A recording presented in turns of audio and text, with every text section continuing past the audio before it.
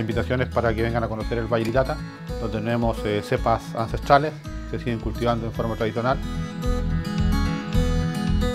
Es un viaje al pasado, un viaje a la forma antigua de hacer vino. Un verdadero vino desde la parra a la botella. Litata tienes que sentirlo, vivirlo, venir a vivir la experiencia